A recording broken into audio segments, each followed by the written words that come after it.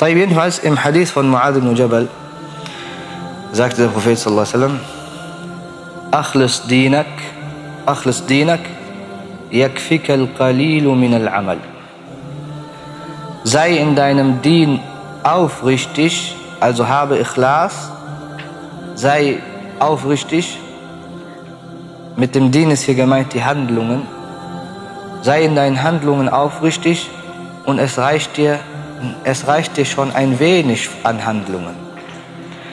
Wenig Handlungen mit Ikhlas sind ausreichend.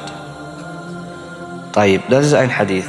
Ebenfalls ein Hadith von Anas, der aber, der ist bei Dara Qutni überliefert, ist aber, ist da'if, aber die Bedeutung ist akzeptabel. Also das, was dieser Hadith aussagen möchte, den Sinn, den Inhalt, den er vermitteln möchte, ist akzeptabel und widerspricht sich nicht anderen Texten. Das ist der Hadith von Anas ibn Malik, radiallahu ta'ala an. Darin er sagt, Anas ibn Malik sagte, wenn der Tag der Auferstehung einbricht, werden die Malaika mit versiegelten Schriften kommen. Versiegelten Registern, diese Tatenregister, Suhuf. Und dann wird Allah Ta'ala zu ihnen sagen, nimmt dies und jenes fort. Nimmt es raus oder schmeißt es fort.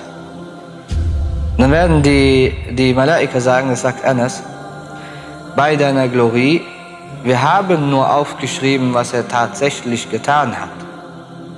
Also die, die, die, die Sache, der Grund, warum sie dies äußern, ist, weil sie sich fragen, warum diese Handlungen rausgenommen werden sollen aus seinem Register.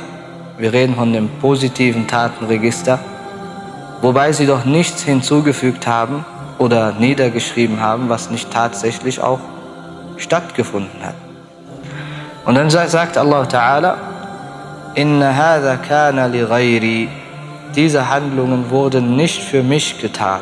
Diese Handlungen wurden nicht meinetwegen getan. Und heute nehme ich nur an, was meinetwegen bewerkstelligt wurde. Ebenfalls in einem ähnlichen Hadith, der, also in dem Angel- und Drehpunkt der gleiche ist wie bei dem soeben genannten, der ist aber auch daif, auch schwach. Der ist im Sucht von Ibn Mubarak überliefert. Aber auch der Inhalt ist wieder yani, akzeptabel. Die Botschaft, die vermittelt werden muss, ist akzeptabel. Und zwar sagte, sagte, sagte der Prophet oder soll gesagt haben, die Engel heben die Taten des Dieners empor. Sie heben sie empor zu Allah und loben, loben die Handlungen.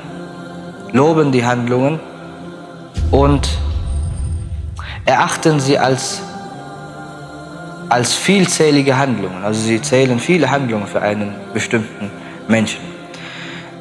Da gibt Allah Ta'ala ihnen ein, ihr seid die Behüter oder die Wärter, Behüter und Wärter der Handlungen meines Dieners und ich bin Hüter und Wärter ihrer, ihrer Nufus. Mit dem Nufus ist gemeint das Innere, das Innere des Menschen. Also die Bewegung seines Herzens, seine Absichten, seine Intentionen und so weiter. Und dann sagt Allah Ta'ala, Inna abdi lam yukhlis fi amali. Inna abdi lam yukhlis fi amalihi faj'aluhu fi sijjin. Mein Diener war in seinen Handlungen nicht aufrichtig.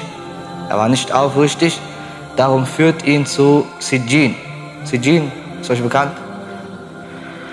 Schon mal gehört von Sijjin und Illiyin. Das kommt in Surat al-Mutaffifin vor. Surat al-Mutaffifin, das sind zwei, äh, zwei Stufen oder Ränke im, äh, im äh, Paradies und in, in Jahannam. Sijin gehört zum Jahannam, kommt aus dem Wort Sajin, was einkerkern heißt, einsperren. Sijin ist also ein Ort der Sperre. Er führt ihn zu Sijin und dann sagt er weiter, und sie steigen empor mit Handlungen eines anderen, achten sie aber für gering, sehen sie gering an in ihrer Anzahl. Und dann sagt Allah Ta'ala wieder dieselben Worte. Ihr seid Wärter und Hüter der Taten, der äußerlichen Handlungen meines Dieners. Und ich bin zuständig für sein, für, für sein Nafs, für das, was in seinem Inneren vorgeht. فضاعفوه وجعلوه في عليين ضاعفوه vervielfacht diese Handlungen, vervielfacht die Handlungen und führt ihn in Illiyin. Illiyin ist, ist äh, eine Bezeichnung für einen Rang im Paradies.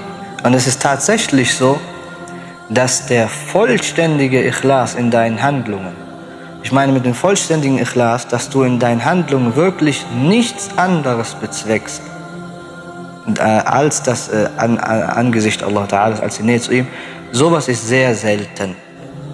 Es ist sehr selten. Und deswegen hat der Ikhlas auch diese hohe Stellung.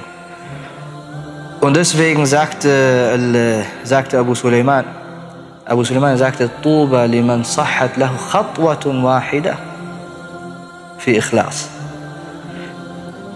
Er sagte, Tuba, also frohe Botschaft oder Heil dem, hm, der einen einzigen Schritt in vollkommener Aufrichtigkeit tätigt.